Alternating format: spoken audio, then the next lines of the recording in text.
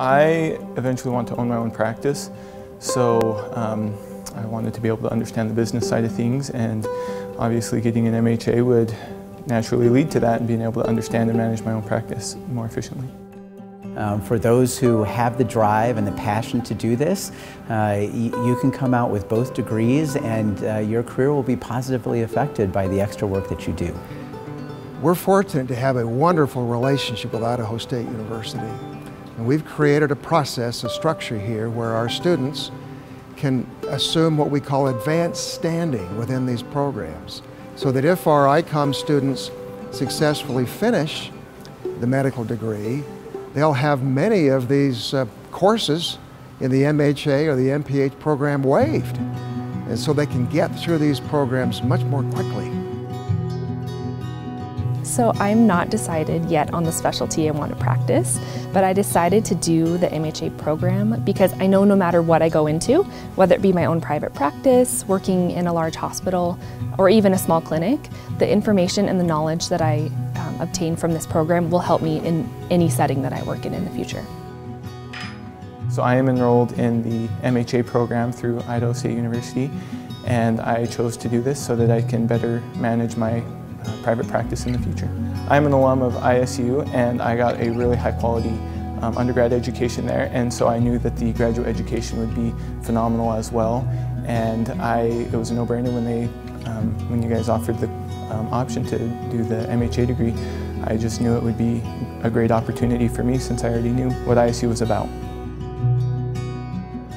We have all of our courses are online. Some you have to be online in class at a certain time with everyone else. And then some classes are asynchronous where you just do assignments as they come and exams as they come along.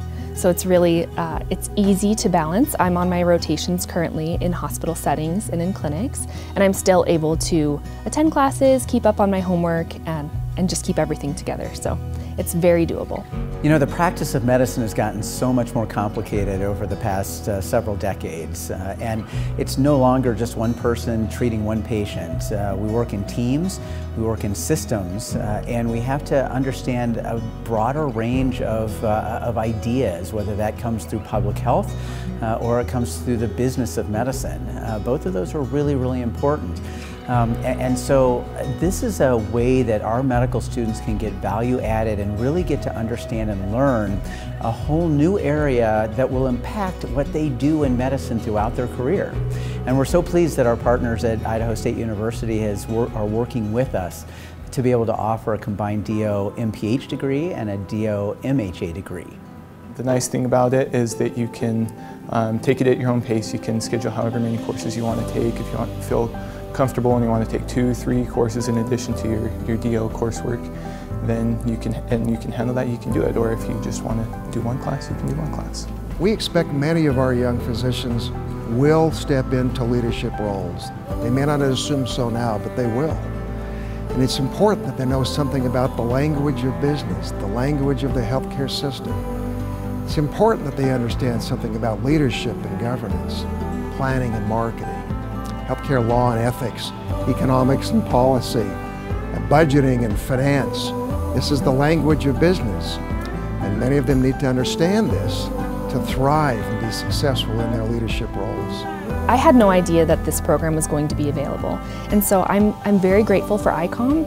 Um, because they're so willing to take on these bigger programs even when we're such a new school because they want the best opportunities for their students. So I'm very grateful to be here at ICOM and to be able to be part of such a great program even when our school is so new.